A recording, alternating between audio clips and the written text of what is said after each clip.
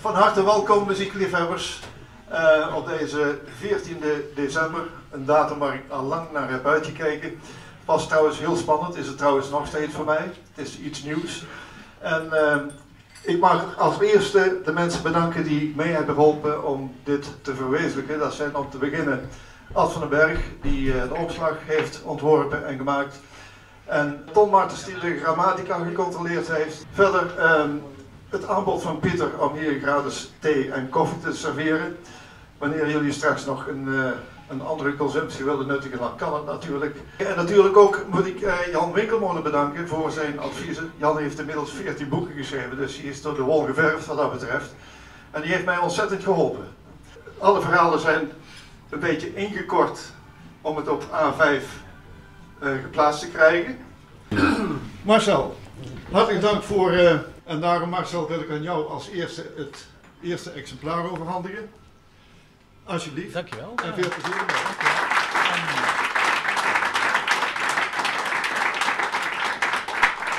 En eveneens het eerste exemplaar, en zeker niet in de laatste plaats aan uh, vriend uh, Jan Winkemolen, die heel veel voor mij betekent en nog altijd. Ik dank voor jullie, voor jullie komst. Ik vind het geweldig dat jullie allemaal hier zijn.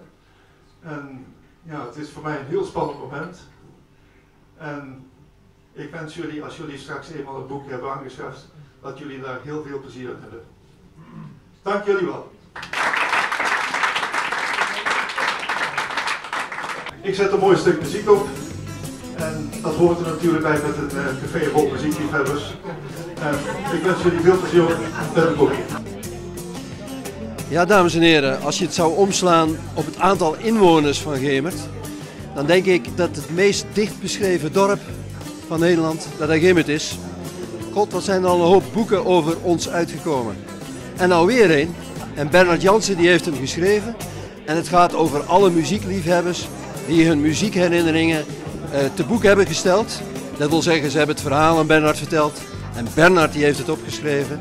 En toen hij er 150 had, toen heeft hij het allemaal gebundeld. En nou, vandaag komt dat boekje uit. En ik uh, kan het van iedereen van harte aanbevelen. Het is muzikaal en prettig leesbaar. Wat wil je nog meer?